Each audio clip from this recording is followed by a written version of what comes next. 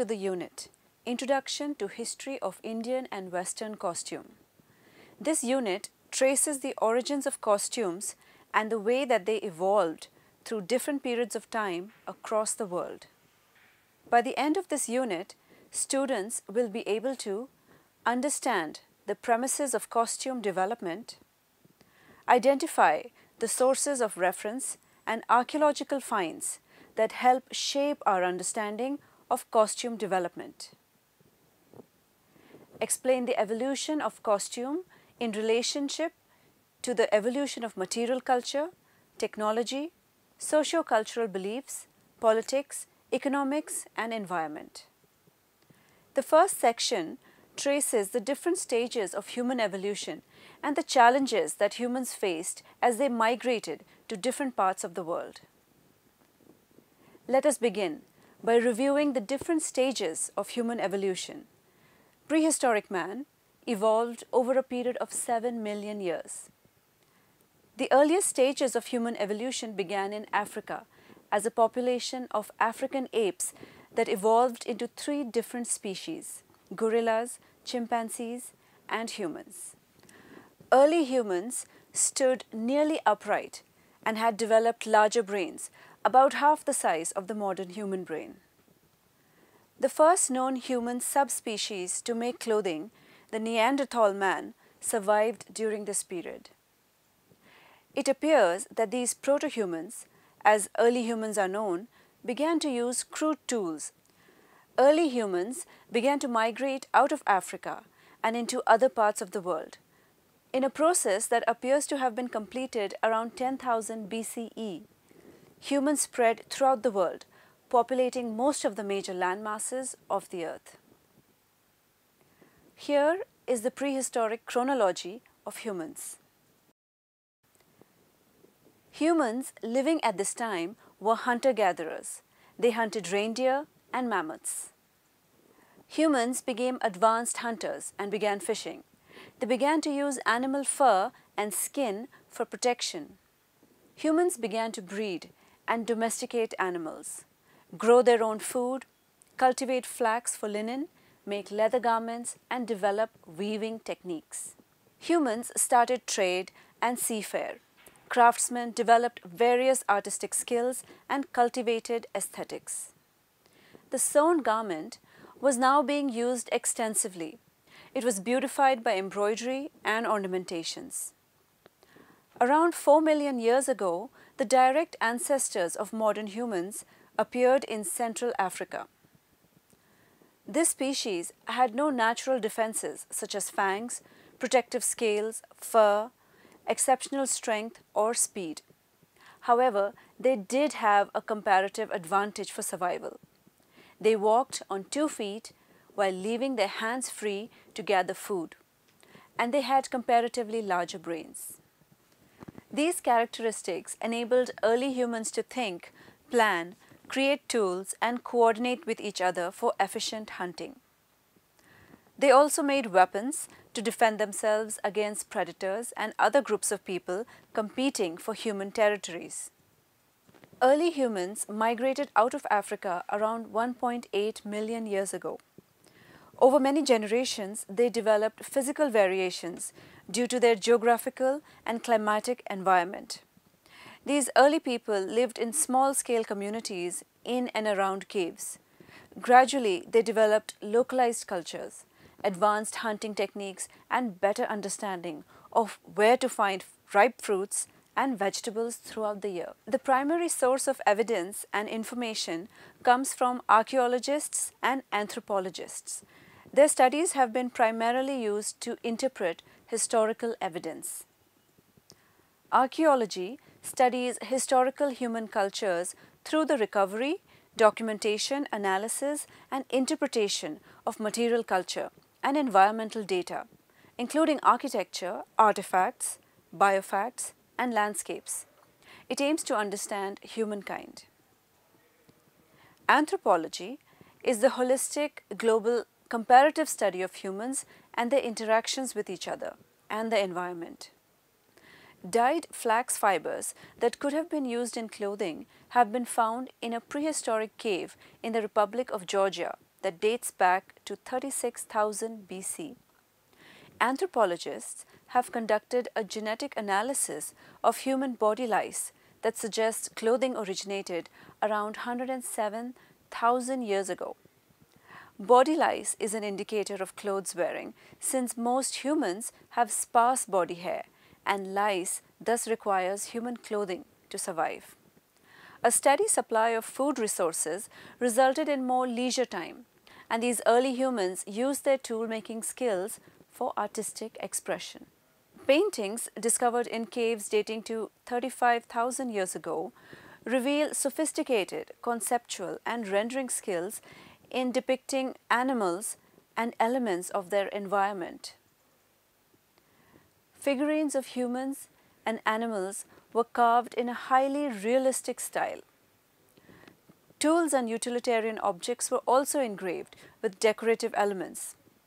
These artistic expressions may have been made for aesthetic pleasure or as part of a spiritual or magical belief. The Venus figurine found at Neolithic sites illustrates the symbol of fertility through the figure of a voluptuous woman. Similar artifacts have been found at various locations across southern Europe, indicating a kind of cultural exchange system that was prevalent. A prominent use for ornamental items was for burial of the dead. Excavations of grave sites dating back to 40,000 years ago have revealed weapons, tools, clothing, bodies covered in paint, and even food. These shed light on the concept of afterlife for early human societies. With the retreat of the Ice Age around 12,000 years ago, migratory patterns of food animals also changed, making it difficult for hunting. This led to people maintaining captive herds of animals as a ready supply of food. Additionally, people began to settle in areas where they could cultivate plants for food. The domestication of animals and development of agriculture transformed the uncertain lives of early humans, hunter-gatherer communities, providing a more stable and controlled way of life. These early agrarian societies developed along the banks of major rivers such as the Tigris and Euphrates in Western Asia, the Indus in Central Asia, and the Nile in North Africa around 10,000 years ago the advances in technology, architecture and social integration were rapid and dramatic. This section explains why humans began using clothing and the subsequent development of costumes. There is limited knowledge about the earliest human costume due to the scarcity of archaeological finds. Stone tools found at sites for scraping animal hides bone needles and antler awls give us hints that animal skins were sewed and used to make clothes, blankets, coverings or other utilitarian items. Evidence of this comes from archaeological discoveries of needles found for sewing, bone scrapers used for preparing skins and bone devices probably used for fastening clothing in sites dating from the same general period. Yet very little of these items have survived for us to understand how exactly they looked like. The earliest depiction of dresses are found in cave paintings from the Old Stone Age or early Paleolithical period about 30,000 years ago. Earliest evidence of textile fabrics date from about 27,000 years ago, imprints of woven material on clay pots. The oldest textile discovered dates to about 7000 BC. Evidence dating back to 30,000 years ago confirms that people have transformed their appearance of their bodies in a wide variety of ways.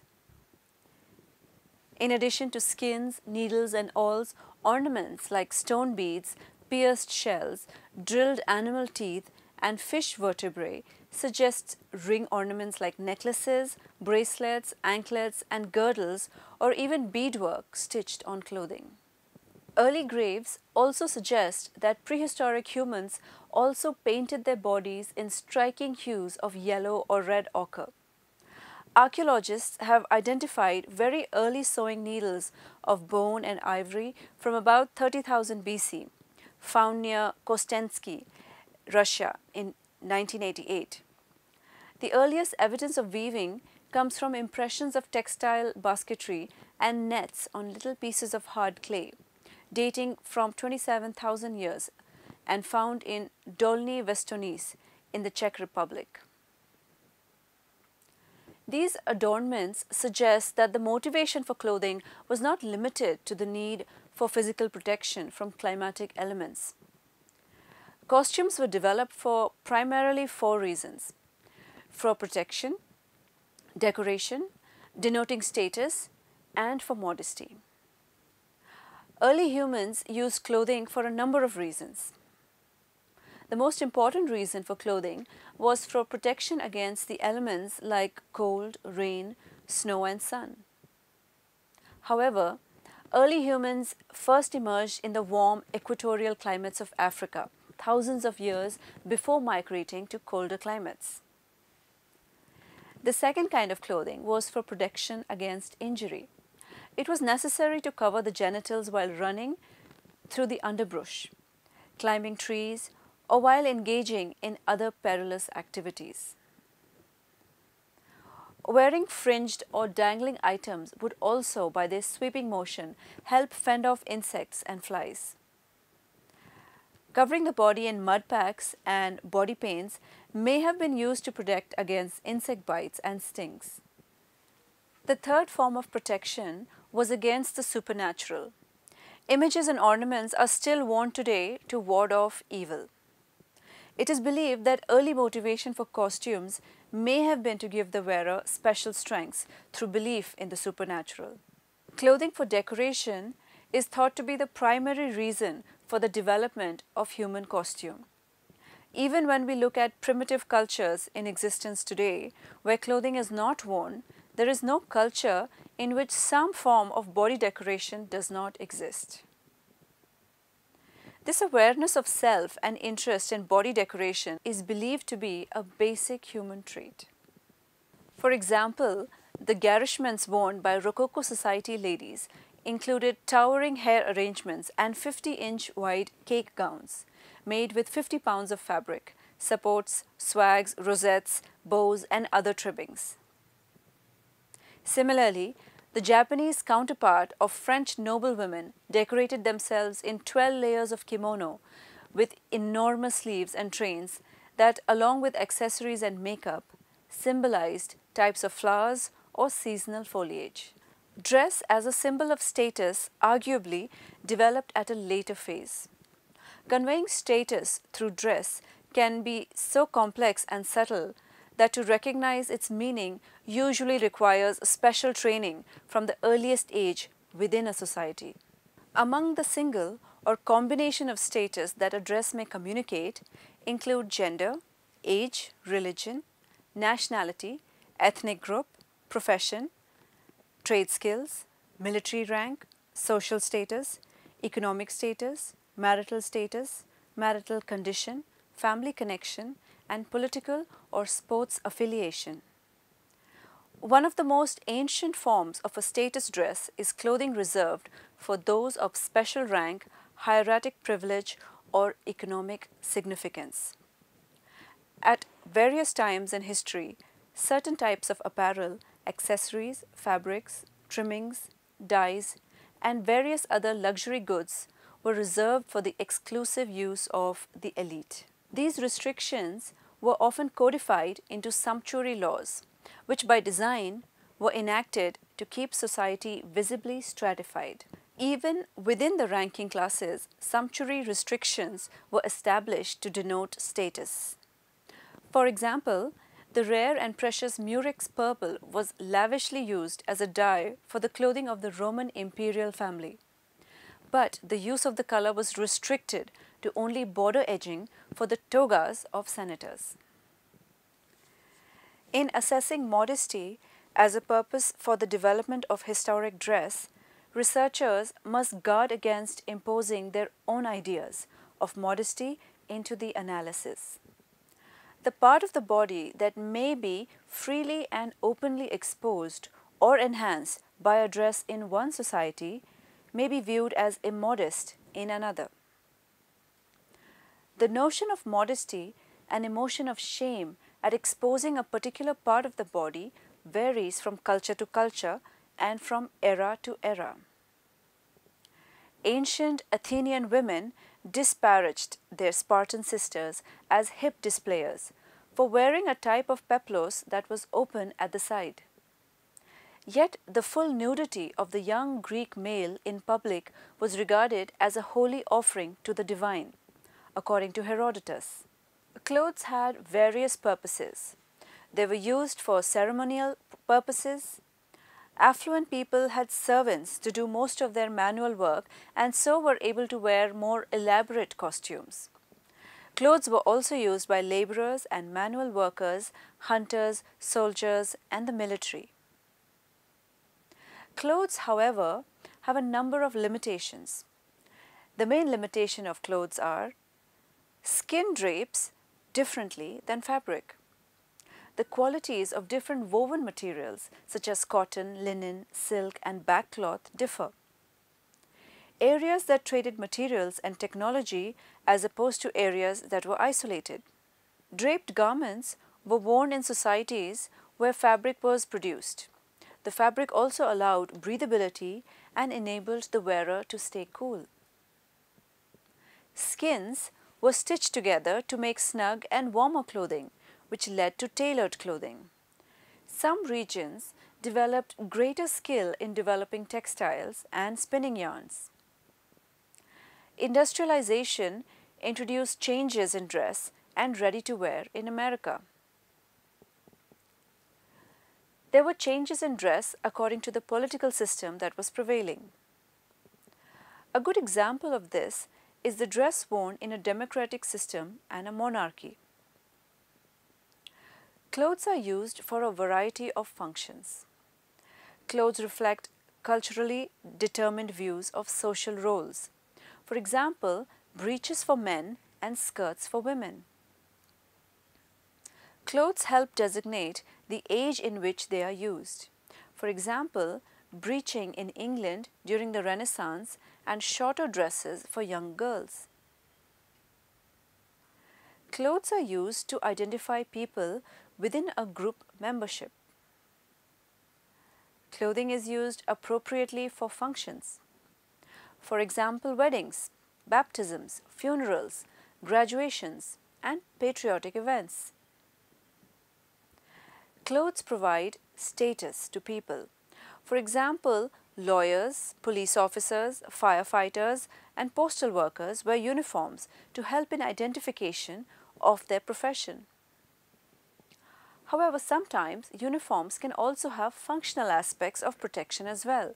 For example, married women in Western cultures wear a ring on a specified finger. Amish married men wear beards while unmarried men do not. In ancient Rome, only male Roman citizens were permitted to wear the toga. In some cultures, clothing focuses attention on the breasts of women or genitals of men. James Laver, costume historian, phrased the term shifting erogenous zones. Women uncovered different parts of the body selectively in order to attract men. As men became used to seeing more of the breast, this area lost interest and the power to excite and so was covered, while another area such as the hips was emphasized.